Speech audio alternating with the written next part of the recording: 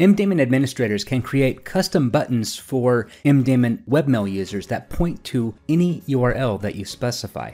So for example, if I want to add a button right here that points to my security gateway login screen, I can upload a custom image file and associate that image with the URL that points to my security gateway. And I can do this in MDaemon Remote Administration.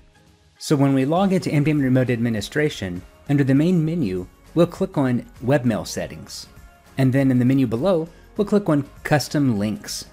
And as you can see on the right hand side of this window, you can upload your custom image that will be used as your custom link button.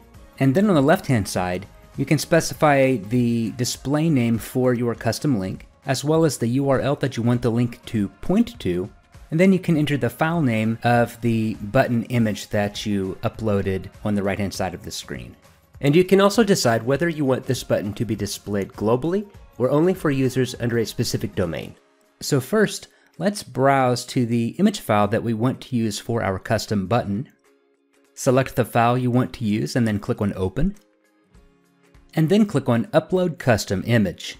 And now that our image file has been uploaded, we can specify our custom link information on the left-hand side. So first, enter the display name for the custom button, in this case, I'm going to call it sg-login since it points to my Security Gateway login screen. And then enter the full URL that you want your button to point to. Next, in the blank below where it says optional button image, enter the file name of the image that you uploaded in the first step. And then click on add.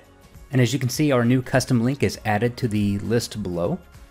And then we can click on save at the top to save our changes. And at this time, MDaemon Webmail users will now see a new button on the MDaemon Webmail toolbar, and then here's our custom button. And as you can see, clicking on it takes us to the custom URL that we specified previously.